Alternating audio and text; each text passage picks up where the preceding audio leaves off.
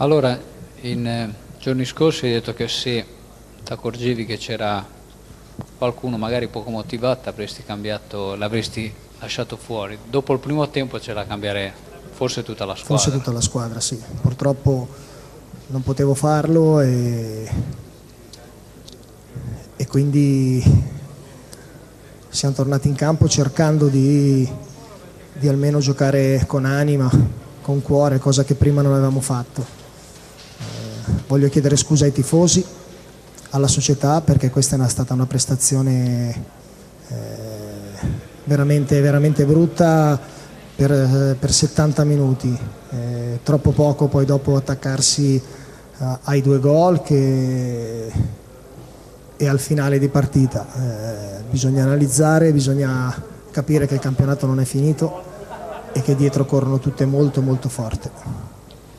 Cosa è successo in questa squadra? È come se avesse diciamo così, mollato per i playoff e fosse quasi certa che tanto non viene risucchiata, perché adesso siete a un bivio, tot punti davanti, all'ottavo posto tot punti per i playout, situazione ibrida.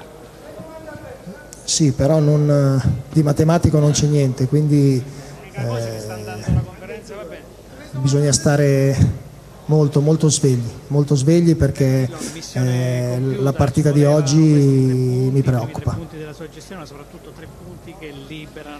Cosa c'è? Hai avvertito qualcosa in settimana di questo magari calo di tensione?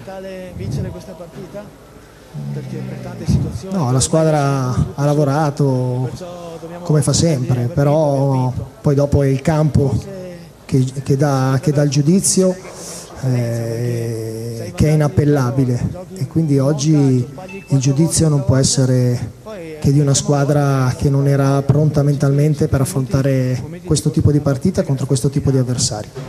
Forse l'unica nota lieta è stato Mulattieri, è entrato bene, ha segnato. Sì, la nota positiva è questo ragazzo del 2000 e, e in questo senso sono contento per lui. probabilmente però tutti, tutti devono eh, capire che, che, il campionato non è finito e che ci sono ancora 5 partite e 5 partite sono tante, sono tantissime.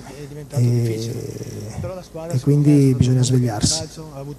Non so, mi pare, non so quante palle gol abbiamo avuto. Dobbiamo stare attenti ai Posto? Grazie. Ci costano, ci costano